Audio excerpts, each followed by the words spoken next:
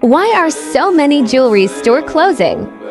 Consumers are shopping for products much differently than they were 20, 10, or even 5 years ago. Why it's used to be a treat to the local jewelers, which has slowly evolved into online market where shoppers have more accessibility than before. They can't break us down, about to see us glow,